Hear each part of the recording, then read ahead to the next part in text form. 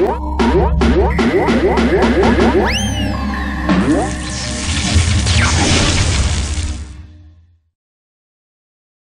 A lot of people said I didn't show how to win on my last Key Master video. This game is some luck catching a certain row when it's ready to pay out. You move the joystick left and right to line the key up in the middle of the prize hole. You hold the button to raise the key and then let it go. If the key hits the bottom of the plastic where the prize is hanging, that means that row is in skill mode and stays in skill until a prize is won. If it's not in skill mode, the key will move upward no matter what, causing the player to lose. This game's pretty much about catching it at the right time.